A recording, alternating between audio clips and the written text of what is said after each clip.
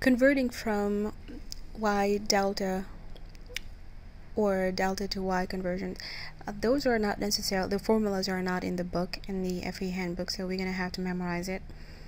Um, so I this is a way I've learned to actually derive it. I've learned to derive it basically. So um, this is y and this is delta of course. I mean some people call this pi some people call this t whatever. But um because it looks like a T and this looks like a semi pi or whatever. But this is delta and this is y that's how I learned it.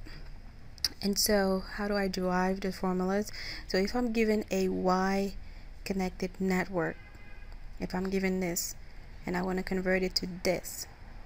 So I already know these I want to convert it to these individual Z12, Z13, Z23 this is how I learned to do it automatically. So Z12 Z13 Z23 equal equal equal.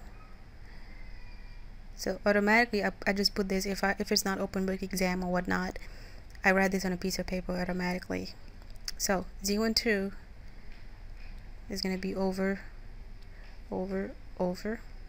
So this is from T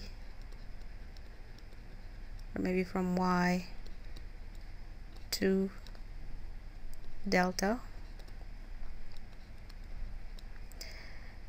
Okay.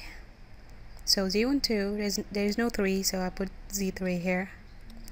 Z13 there's no 2 so I put over z2 and here is z1 and then on top is all the same everywhere. So I have z1 z2 plus z1 z3 plus z2 z3 that's how it's everywhere the same thing. So as soon as you figure out what's in the bottom the top is the same everywhere plus.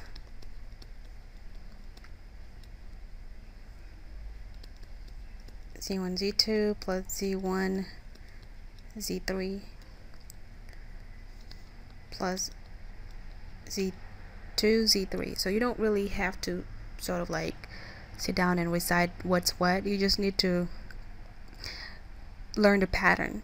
So z1 2 is no 3 put it in the bottom put it in the bottom put it in the bottom here okay now from delta to y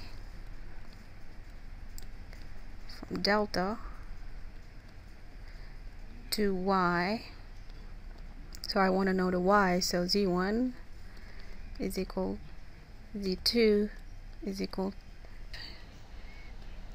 something over at the bottom. Now here the bottom will be the same everywhere okay so what's missing here on top? 2 and 3 so I have z1 2 because I'm using the delta values what's missing is 2 and 3 so 1 2 times 1 3 here what's missing? 1 and 3 right? So I have z 2 1 z 2 3 what's missing here 1 and 2 so I have z 3 1 z 3 2 now at the bottom is the same everywhere. So I have z 1 2 plus z 1 3 plus z 2 3 same thing everywhere.